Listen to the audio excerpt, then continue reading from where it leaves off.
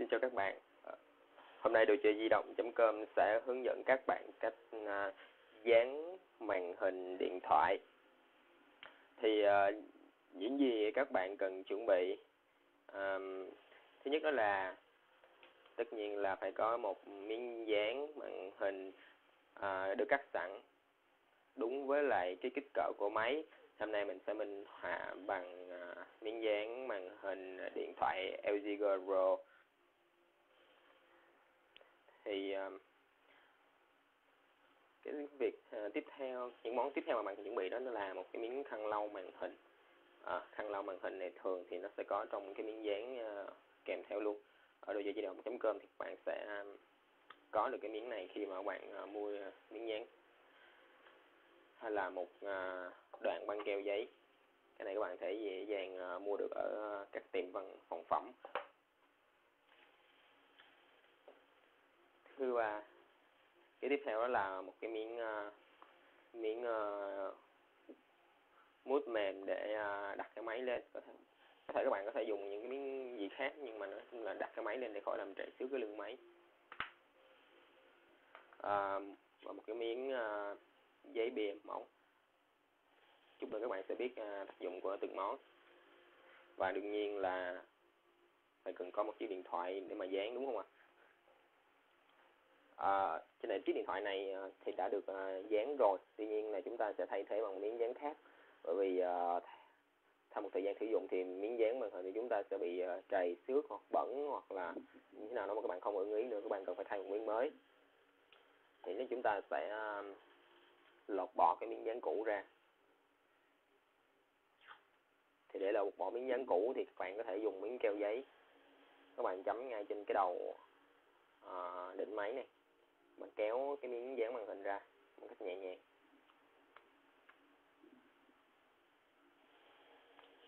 Tất nhiên là các bạn có thể um, tìm cái góc nào đó nó nó nó nó dễ mà cảm thấy nó dễ kéo lên thì bạn bắt đầu kéo nó ra.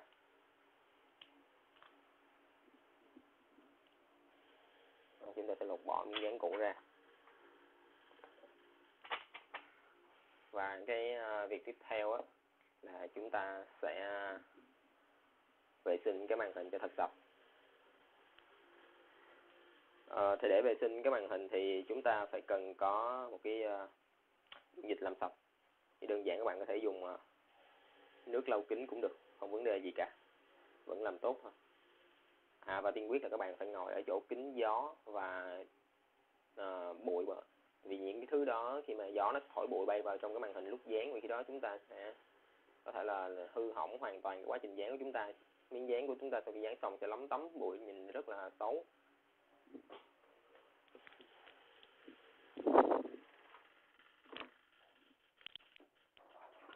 Đầu tiên thì các bạn sẽ đặt cái điện thoại của mình lên trên một cái bề mặt mềm. Để trong quá trình dán thì chúng ta sẽ di chuyển cái máy mà không làm trầy xước cái lưng máy. Sau đó thì chúng ta sẽ mục một ít dung dịch à, làm sạch bề mặt kính lên trên này. Thì chúng ta sẽ lau nhẹ nhàng đều hết trên cái à, bề mặt của chiếc điện thoại mình. Các bạn chú ý là cái quá trình làm sạch này nó rất là quan trọng. Bởi vì những cái vết bụi bẩn nó bám theo cái vết keo cũ trên cái màn hình mà các bạn không làm sạch á, thì khi các bạn dán cái miếng keo mới lên á, thì nó sẽ hiện lên những cái vết bẩn những cái đốm nhỏ nhỏ đó. Và các bạn lúc đó vệ sinh lại rất là cực vì nó dính miếng dán rồi chúng ta đưa cái miếng keo vào để chúng ta chấm bụi ra, nó rất là khó. Tại vì ban đầu chúng ta phải làm thật tốt cái quá trình làm sạch màn hình.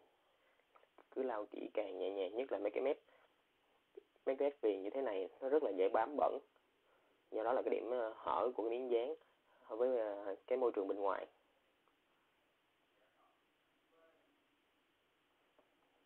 Là khi làm làm thật kỹ và tốt nhất là chúng ta nên tắt cái máy đi. Bởi vì à, khi mà nó hiện hình lên trên thì chúng ta sẽ rất khó quan sát cái miếng dán nó có là đẹp, dán đẹp hay chưa nó có bụi hay không.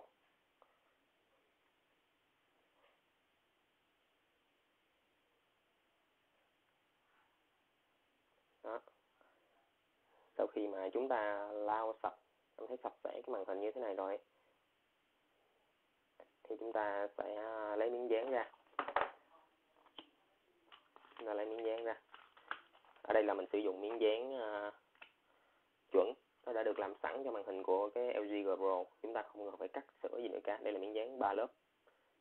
Đó, các bạn sẽ thấy quan sát thấy nó sẽ có cái lớp số 1 lớp số 1 lớp số 2 và chúng ta sẽ khi dán thì chúng ta sẽ chừa lại cái lớp giữa để sử dụng.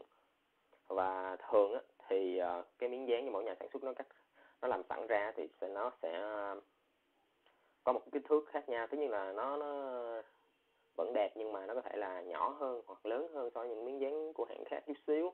Thì để cho chắc chắn thì chúng ta phải ờ, để lên cái màn hình chúng ta ướm thử và chúng ta phải nhắm sẵn cái cái vị trí của miếng dán mà khi mà đặt lên để chúng ta tránh việc mà đặt lệch quá nhiều lần như mất thời gian trong lúc dán và bụi bẩn nó dễ tấn công lên cái màn hình của chúng ta sau khi các bạn đã ướm xong như thế này thì chúng ta đặt miếng dán một bên. Và việc tiếp theo á, thì chúng ta sẽ làm sạch những cái à, chấm bụi bẩn ở trên màn hình. Khi nãy chúng ta lau bằng cái à, cái dung dịch à, nước rửa kính rồi, thì nó vẫn còn một số cái hạt bụi cứng đầu, nó chưa kinh qua. Chúng ta sẽ dùng một đoạn kẹo giấy như thế này. Chúng ta sẽ chấm đều hết trên cái màn hình để hít những cái tấm, chấm bụi li ti ra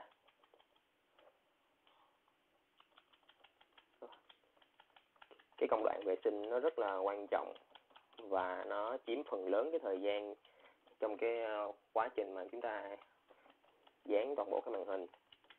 Các bạn làm vệ sinh thật kỹ thì chúng ta sẽ dán, sau khi đặt miếng dán lên, dán rất là nhanh và ít phải chỉnh sửa. Các bạn hãy chấm hết cái màn hình, chấm đều hết, không bỏ sót phần nào để đảm bảo rằng 100% bụi bẩn nó không còn bám trên cái màn hình của mình nữa.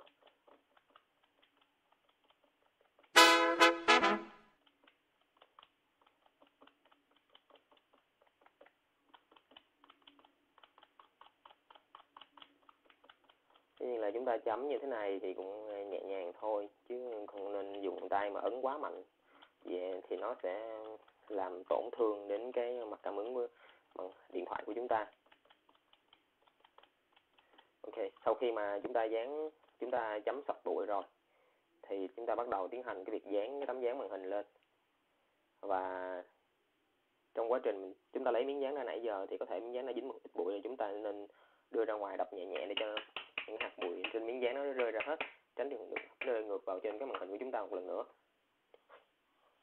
Rồi thì này chúng ta sẽ bắt đầu từ từ lột cái miếng số 1 ở dưới này ra tách nó ra nhẹ nhàng vậy thôi.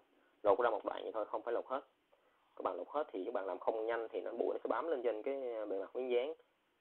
Đó chúng ta sẽ đặt theo cái vị trí mà chúng ta ước lượng ngay từ đầu lúc này chúng ta đã canh rồi đó, đó chúng ta đặt nhẹ nhàng cảm thấy nó ok thì bắt đầu chúng ta mới đầu kéo nhẹ nhẹ này ra. Cái miếng số 2 bọc ra. Về phía sau và chúng ta đưa hai ngón tay. Chúng ta ngón trỏ với ngón. Chúng ta sẽ đẩy cái miếng dán xuống từ từ từ từ từ từ. Đó, vuốt đều hai bên như thế này. Đó. Thì cơ bản là chúng ta sẽ đặt cái miếng dán lên là màn hình nó đúng vị trí rồi. Giờ công việc còn lại chúng ta sẽ chỉnh sửa một số thứ làm cho nó đẹp hơn. Thường miếng dán thì chúng ta nó có một cái phần ờ, bên cái nút này nó, nó cắt mà nó không lấy ra. Hết cái phần miếng dán chúng ta sẽ dùng keo giấy chúng ta chấm cái phần đó lên. Đó chúng ta sẽ bỏ nó ra. Thì khi đó thì chúng ta sẽ ờ, các bạn thấy đây là cái phần mà hở nó vẫn còn nằm ở trên này. Thì chúng ta dùng cái miếng uh, miếng giấy cứng này chúng ta sẽ cà nó xuống. Các bạn có thể dùng không dùng cái miếng chuyên dụng cũng được các bạn có thể dùng cái kẹp. Ờ, uh, visit hoặc là cái thẻ ATM các bạn kéo đẩy nó xuống. Rồi cái phần này nó vẫn còn hỏi chút xíu thì chúng ta sẽ lấy cái tay chúng ta đẩy từ từ từ từ từ, từ, nó xuống thôi. Là nó sẽ xuống. Đó.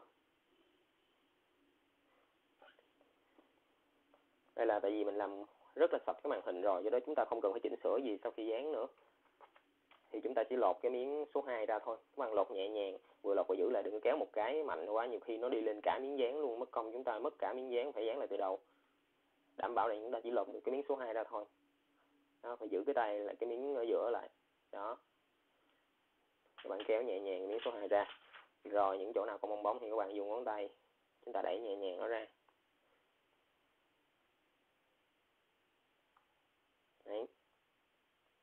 Chúng ta sẽ dán xong cái màn hình. Tất nhiên là mình làm quen tay rồi thì mình sẽ không có bị uh, chỉnh sửa nhiều. Tuy nhiên mình uh, sẽ nói thêm vấn đề về chỉnh sửa trong lúc dán các bạn có thể thấy những có những cái hạt bụi làm li ti trong này do chúng ta làm không sạch. Thì cái cách mà bạn lấy miếng bụi đó ra như thế này. Thì các bạn sẽ dùng uh, miếng keo giấy như là chấm một cái đầu. Thì dính lên cái miếng dán chúng ta vừa dán.